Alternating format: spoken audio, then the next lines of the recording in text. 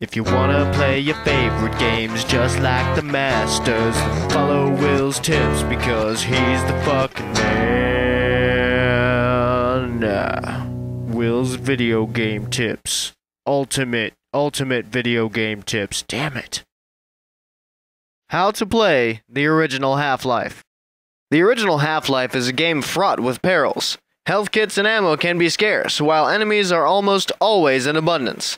Luckily, you play as Gordon Freeman, the only scientist in the entire Black Mesa complex that has been gifted with top level military combat training. Although the intro sequence is pretty relaxed, allowing new players to get comfortable with the game, it also sets the tone for one of the most important aspects of Half Life claiming revenge on the security guards. That's right. The security guards in this game are so cocky and or complacent and or stupid that it becomes Gordon Freeman's top priority to claim revenge on every single security guard he meets, even to the detriment of saving the world from evil aliens, which we find out in Half-Life 2 Gordon utterly fails to do anyway. Either way, Gordon's priorities are your priorities, even if you disagree with him.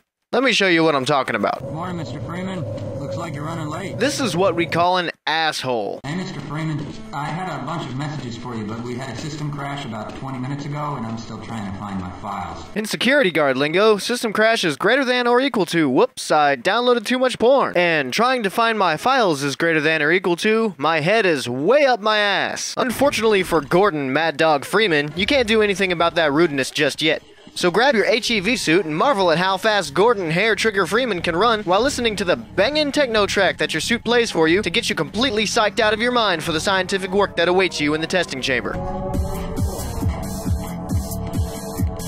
Next, you'll need to talk to these guys about some fake scientific crap just to remind you that humble Gordon Freeman is the most unlikely hero on the face of the earth. We've boosted the anti-mass spectrometer to 105%. Bit of gamble, but we need the extra resolution. Standard insertion procedures. Then prepare to watch your PhD in theoretical physics go completely to waste as you run around and perform manual labor for the scientists who are actually pushing buttons and twisting knobs in the tower.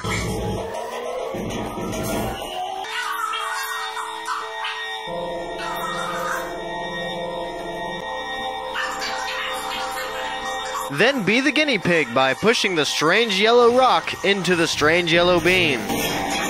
Then watch as everything you've ever worked toward gets totally raped by explosions and laser beams.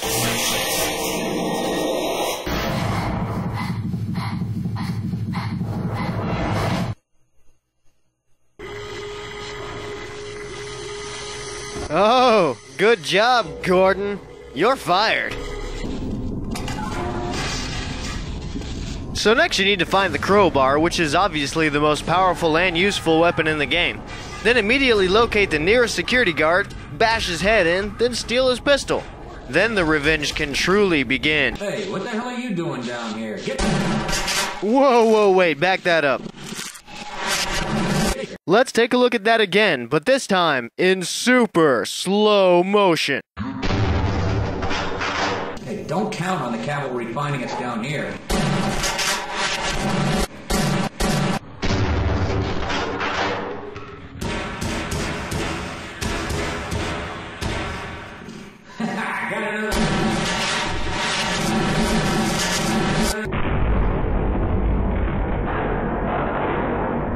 And eventually, you're gonna want to take out revenge on the scientists also, because I mean, hey, I don't see them picking up guns and helping out.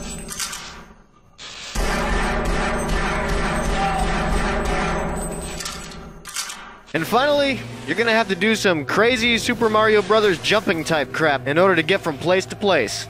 Good luck with that one.